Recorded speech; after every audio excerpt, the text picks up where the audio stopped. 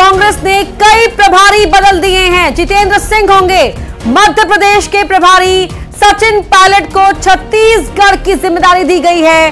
बड़ी खबर आपको बता रहे हैं। जितेंद्र सिंह मध्य प्रदेश के प्रभारी बनाए गए हैं। सचिन सचिन पायलट को छत्तीसगढ़ का प्रभार सौंपा गया है। ये बड़ी खबर आपको बता रहे हैं। संगठन में कई बदलाव यहाँ पर कांग्रेस ने किए हैं और जो हार मिली मध्य प्रदेश, छत्तीसगढ़, राजस्थान में। उसके बाद अब कांग्रेस के अंदर ये परिवर्तन देखने को मिल रहा है। संगठनात्मक तौर पर अब यहाँ प्रभारी बदले गए हैं मध्य प्रदेश और छत्तीसगढ़ के। सचिन पायलट को छत्तीसगढ़ का प्रभार सौंपा गया है।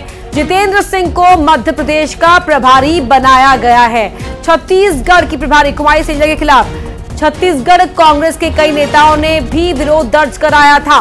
और ऐसे में अब छत्तीसगढ़ का प्रभार आने वाले चुनावों को देखते हुए सचिन पायलट को दिया गया है।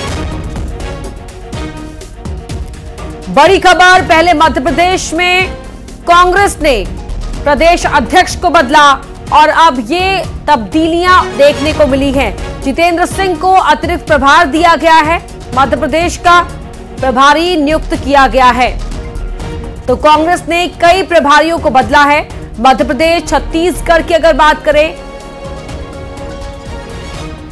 शिवम प्रताप सिंह हमारे सहयोगी दिल्ली से हमारे साथ जुड़ रहे हैं। शिवम, ये बड़े बदलाव किए गए हैं। देखिए निश्चित तौर पर कांग्रेस पार्टी लगातार इन बदलावों की बात कर रही थी। लंबे समय से ये कहा जा रहा था कि कई राज्यों में प्रभारी नहीं और कई राज्यों में एक्स्ट्रा प्रभारी है। मल्लिकार्जुन खड़गे ने अध्यक्ष बनने के बाद कोई नई टीम नहीं बनाई थी, लेकिन आज उस टीम का ऐलान हो गया है। पर चुनाव वक्त बचा नहीं है, लेकिन सबसे बड़ी बात है कि प्रियंका गांधी वाड्रा को राष्ट्रीय महासचिव बनाया गया है लेकिन कोई राज्य प्रभारी नहीं, रहेगी। और उत्तर प्रदेश की बात करें तो अविनाश पांडे पार्टी के राष्ट्रीय महासचिव रहे हैं।